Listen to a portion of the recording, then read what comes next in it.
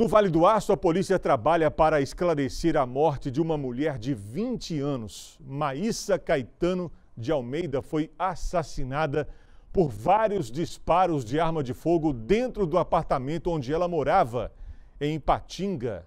O Sávio Scarabelli está de volta ao vivo para falar desse crime, Sávio.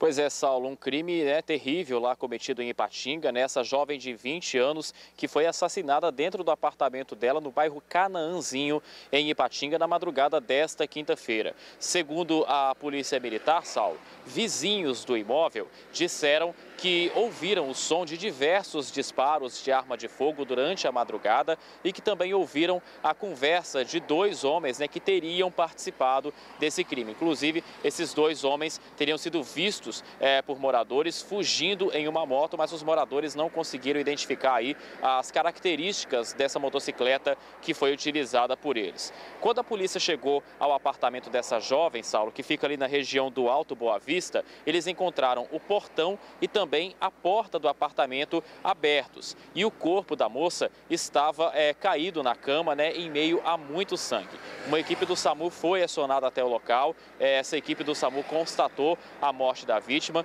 e a perícia da Polícia Civil então foi acionada para fazer os trabalhos de praxe ali naquele apartamento. Segundo a Polícia Civil, a, o corpo da Maíssa é, tinha 19 perfurações. É, ela era moradora da cidade de Nac e a Polícia Militar disse que ela teria envolvimento com o tráfico de drogas na cidade de Belo Oriente, no distrito de Perpétuo Socorro, e também ali no bairro Cananzinho, em Patinga, onde ela acabou sendo assassinada. Saulo, a polícia agora, né, tenta encontrar né, os autores é, desse homicídio, desse crime que vitimou essa jovem de 20 anos lá na cidade de Ipatinga.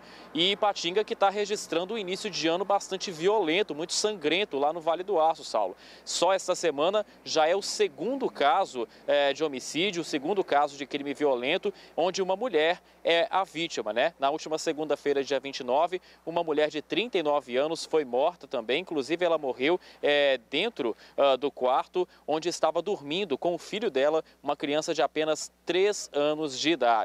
E só neste ano, Saulo, nós estamos começando hoje o mês de fevereiro, só neste ano de 2024, Ipatinga já tem registrados aí oito homicídios consumados. É realmente uma situação bastante preocupante na cidade ali do Vale do Aço. Volto com você, Saulo.